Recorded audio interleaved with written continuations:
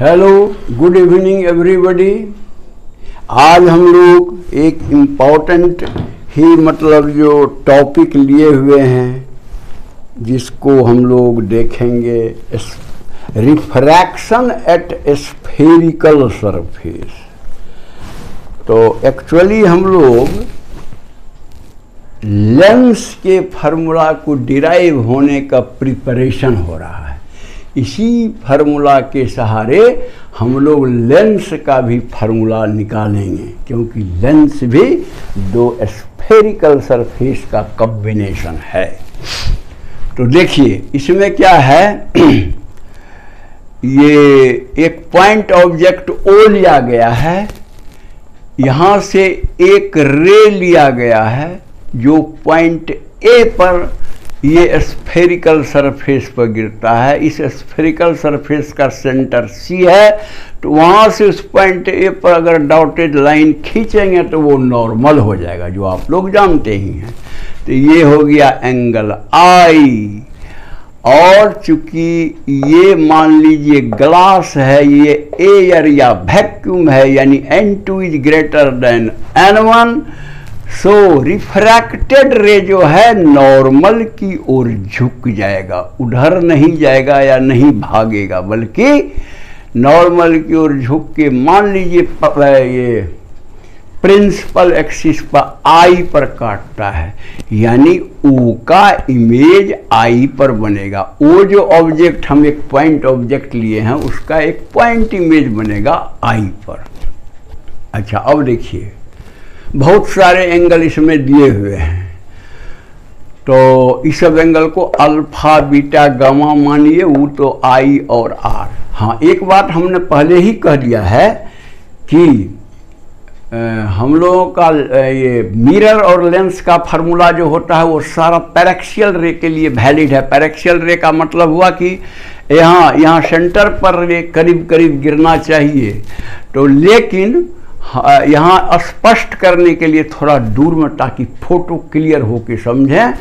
लेकिन आप ये समझिए कि ये पैरेक्सियल रे है। पैरेक्सियल रे होने का मतलब अल्फ़ा, बीटा, गामा आई और आर, सारा का सारा एंगल छोटा होगा। और जब छोटा होगा तो टेन अल्फ़ा को हम approximately alpha tan beta approximately beta and tan gamma को अप्रॉक्सीमेटली गामा कह सकते हैं। और साइन आई को अप्रॉक्सीमेटली आई और साइन आर को अप्रॉक्सीमेटली आर कह सकते हैं। ये तो मैथमेटिकल नियम आप पढ़ते ही हैं टिग्नोमेट्री में। तो अब देखिए तो हम लोग स्नेल्स लॉ लगाते हैं इस सरफेस पर रिफ्रैक्शन के लिए। तो स्नेल्स लॉ कहता है sine I by sine R equal to N two by N one N two ये है डेंस मीडियम और ये है रेयर मीडियम रेयर आर तो साइन आई को करीब करीब आई लिख दीजिए आर को करीब करीब आर लिख दीजिए। साइन आर को। तो तो हो गया N one I equal to N two R ये मान लीजिए एक इक्वेशन हमको मिला। अच्छा अब देखिए। ये आई जो है, वो अल्फ़ा प्लस बीटा का मैंने होगा बराबर, आई बराबर होगा, अल्फ़ा प्लस बीटा। क्यों? ये तो आप जानते ही हैं, ये ट्रेंगल का वो एक्सटर्नल एंगल है, इसलिए I will be sum of two internal angles यानी अल्फ़ा एंड बीटा ये तो पहले भी हम लोग मिरर शो में भी देखे हैं। उसी तरह से आर क्या होगा? तो देखिए beta is equal to R plus gamma इस ट्रेंगल का ये बीटा एक्सटर्नल एंगल है तो beta equal to R plus gamma, यानी R equal to beta minus gamma. तो ही आई और आर को निकाल लीजिए और इसमें डाल दीजिए। तो देखिए मैंने N one alpha plus beta यहाँ से लेके N two beta minus gamma. और अब आप टिग्नोमेट्री से वैल्यू डालिए, ये तो बता ही दिए हैं कि alpha beta gamma I R सब छोटा होगा। तो आप ए एम को प्रिंसिपल एक्सिस पर परपेंडिकुलर मान सकते हैं। तो अल्फ़ा यानी टेन अल्फ़ा का वैल्यू लिखिए तो A M by M O देखिए लिखा हुआ है।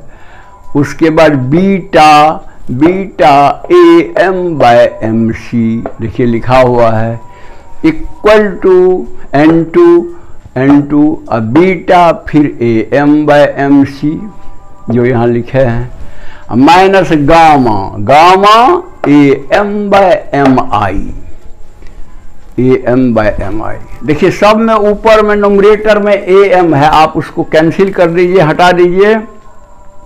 तो जो बचेगा N one by M O plus N one by M C N one by M O plus N one by M C equal to N two by M C अब minus N two by M I वही लिखे हैं N two by M C minus N two by N I अब ये geometry से relation आपने ले आया और अब आप साइन कन्वेंशन यूज़ कीजिए।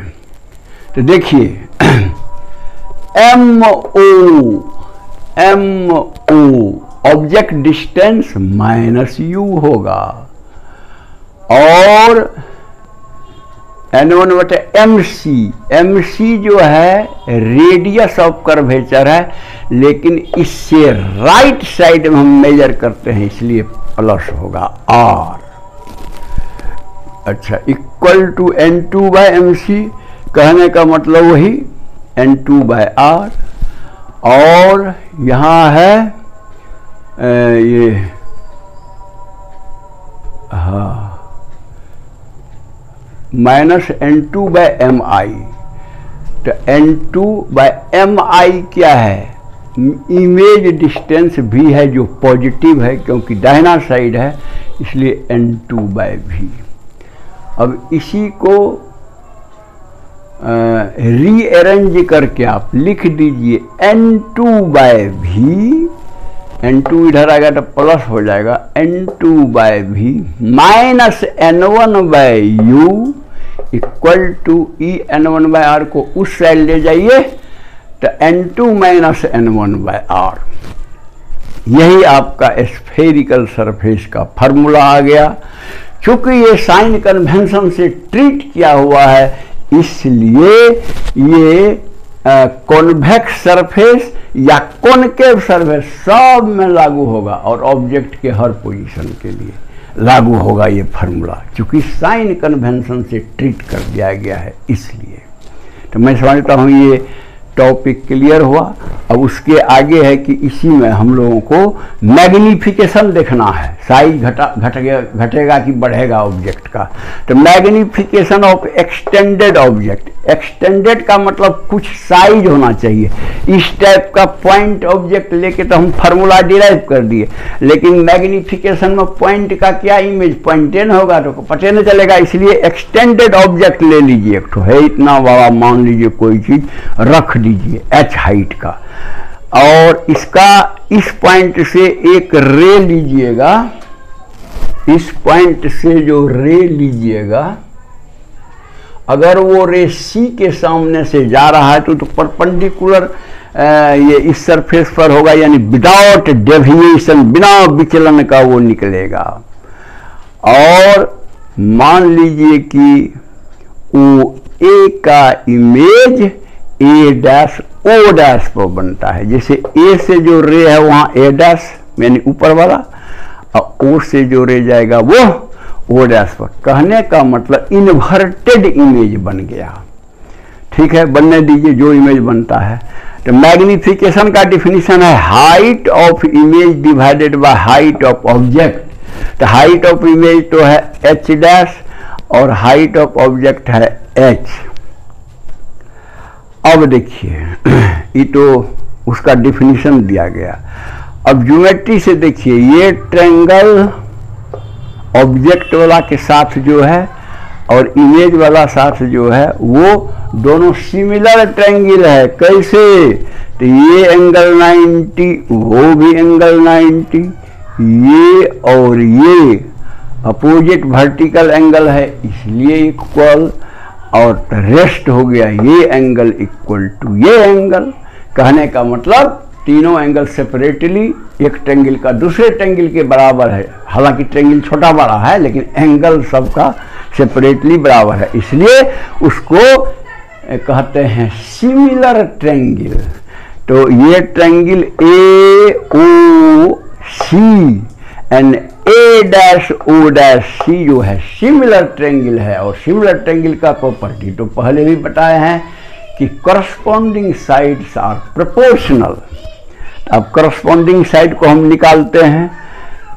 ई भी साइड है ई भी साइड है तो H dash by H H dash by H H dash ऊपर में लिए हैं तो ऊपर में बोलेंगे C O dash by C O C O dash by C O अच्छा सी ओ डैश को ब्रेक कर दीजिए। M O dash minus M C क्योंकि एम ओ डैश मालूम है एम सी मालूम है, इसीलिए ब्रेक किया जा रहा है। Divided by C O C ओ में क्या लिखेंगे? एम सी जो मालूम है radius of curvature and M O जो जो ऑब्जेक्ट डिस्टेंस है, वो मालूम है। तो अब उसका वैल्यू आप डाल दीजिए प्लस माइनस जो करके तो देखिए एच डैश जो है वो तो नीचे की ओर है, वो माइनस होगा एच ऊपर की ओर है प्लस होगा equal to M O dash M O dash क्या है? भी है। Image distance M O dash image distance इसलिए भी प्लस में है। अच्छा और minus M C M C right side में है, इसलिए प्लस है और आर के बराबर है। हो दे दीजिए।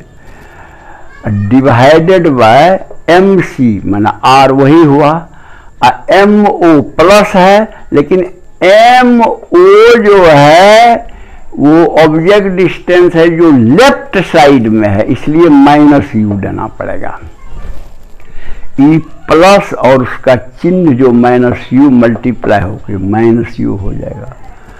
तो हमारा इस साइन को इस साइड अगर कर देंगे तो एच डैश बटा एच हो जाएगा। यानी एम बराबर एच डैश बटा एच और इस साइड जो माइनस साइन को किए स्यूब हो जाएगा आर माइनस भी नीचे का वैसे ही रहेगा। तो एम बराबर एच डैश बटा H equal to R minus V divided by R minus U अब इसमें से हमको आर वगैरह को हटा देना पड़ेगा। तो इसी इक्वेशन की मदद से आप यहाँ पर आर को हटा सकते हैं और हटा देने के बाद फाइनली आपको मैग्निफिकेशन का मिलेगा। M equal to H dash बटे H equal to N one by N two into V by U इसको भी याद रखिएगा और देख लीजिए कैसे डिराइव होता है। तो मैं समझता हूँ कि ये दोनों चीज़ क्लियर हो गया। और अगर आप लोगों को पसंद है तो इसे लाइक कर दीजिएगा।